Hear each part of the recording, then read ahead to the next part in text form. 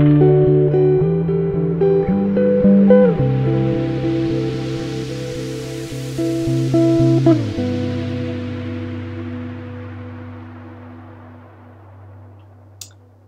um, woke the other day, um, uh, kind of still in what was um, a bad dream. I don't have many bad dreams, I have to say, not nowadays. I used to have lots when I was younger, but I don't have many now. But the other day I woke in um, a particularly uh, horrible dream and um, I had to fight my way out of it. Um, and it took me a while, of course. Um, but I did the fighting by remembering um, who God is and by reciting aloud His word. And then uh, I um, came downstairs, made a cup of coffee, and opened my Bible and was reminded of um, Psalm, or read Psalm 9, and was reminded of who God is and I thought I'd like to read the psalm to you today because these weren't particularly the scriptures that I was reciting aloud. Um, they were, in, in essence, what I was saying, but I was using other scriptures that I remembered at that time. But this is really the psalm that speaks about how I dealt with um, uh, the enemy who was actually coming at me, be that enemy Satan or my flesh or uh, the world, whichever enemy, uh, the enemy, I'm classing the enemy who had brought into my mind this nightmare while I was sleeping and um, who didn't want me to give it up when I woke up, but who was defeated, defeated by the power of God through his word. So, Psalm 9. I will give thanks to the Lord with all my heart. I will tell of all your wonders. I will be glad and exult in you. I will sing praise to your name, O Most High. When my enemies turn back, they stumble and perish before you, for you have maintained my just cause. You have sat on the throne judging righteously. You have rebuked the nations. You have destroyed the wicked. You have blotted out their name for ever and ever. The enemy has come to an end in perpetual ruins, and you have uprooted the cities. The very memory of them has perished. But the Lord abides for ever. He has established his throne for judgment, and he will judge the world in righteousness. He will execute judgment for the peoples with equity. The Lord also will be a stronghold for the oppressed, a stronghold in times of trouble. And those who know your name will put their trust in you. For you, O Lord, have not forsaken those who seek you.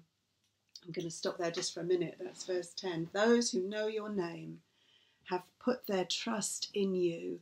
For you, O Lord, have not forsaken those who seek you. That's really where I had to come to the other morning.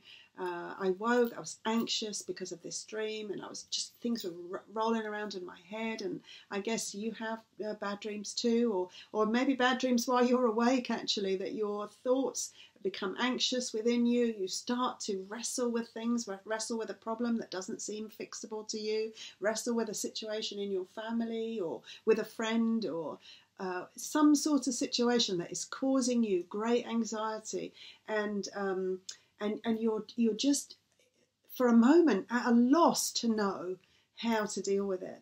And uh, so, what I would say, which I always say, and you'll probably hear me say in these videos um, throughout the year, put your trust in who God is, for He has not forsaken those who put their trust in Him. You will never be disappointed if you put your trust in the Lord, for He really does abide forever. And he has established his throne for judgment, and he will judge the world in righteousness. He will be a stronghold for the oppressed, a stronghold in times of trouble. Do you find yourself in a time of trouble today? I found myself in a time of trouble when I woke up. And yes, you could say, well, you know, that was just a bad dream, and we all have bad dreams. Yes, it was. But I was struggling when I woke up, struggling to fight off the enemy who was attacking me with anxiety and fear.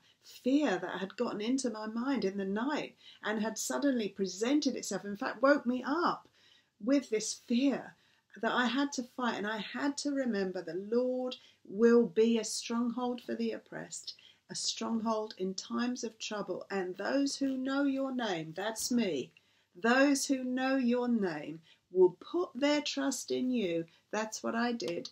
For you, O Lord, have not forsaken those who seek you. God did not forsake me. He made good on these promises. I'm going to carry on for the the other uh, ten verses uh, from verse 11 for Psalm 9. Sing praises to the Lord who dwells in Zion. Declare among the peoples his deeds. For he who requires blood remembers them. He does not forget the cry of the afflicted. Be gracious to me, O Lord. See my affliction from those who hate me. You who lift me up from the gates of death, that I may tell of all your praises, that in the gates of the daughter of Zion I may rejoice in your salvation.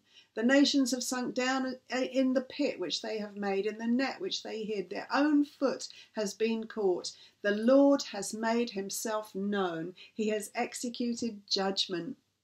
Um, uh, in the work of his own hands, the wicked is snared. The wicked will return to Sheol, for the needy will not always be forgotten, nor the hope of the afflicted perish forever.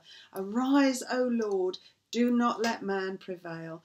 Put that let the nations be judged before you. Put them in fear, O Lord. Let the nations know that they are but men. Um, this is a strong, strong uh, psalm of David who is under attack from physical enemies, and he is trusting his God. He is putting his trust in the God who has promised that those who put their trust in him will never be forsaken. He has a physical enemy, enemies, and he wants the Lord to prevail against them, and he's praying and praising based on the fact that he knows God will. And so you and I may not face those physical enemies. We may be facing uh, spiritual enemies. Paul says, remember, our struggle is not against flesh and blood, but against the rulers, the principalities, the powers of wickedness. We struggle against Satan and his demons. We struggle against his work in the world that is coming against us and his work in our own flesh that is causing us to uh, to be afraid and anxious about things that we cannot control and to forget that our God is a God of justice. Our God is a God of victory. Our God will prevail and all of the enemies will be caught in their own snare. Um, choose a psalm, any psalm almost. Choose a psalm Re- read that psalm today. Read it over and over. Read Psalm 9. Remind yourself of who your God is. And when those thoughts come, either in a dream in the night or in, um, in anxiety and fear in the daytime, recite those words to yourself. My God is mighty to save. My God is a refuge in a time of trouble. My God is the victor, and he will judge all of the enemies. My God is in control. He is sovereign, mighty, most high God, and I belong to Him. Recite these verses to yourself so that you fight the fear that the enemy would seek to bring in. Recite and know the victory. Know the victory of wielding the sword of the Spirit, which is the Word of God.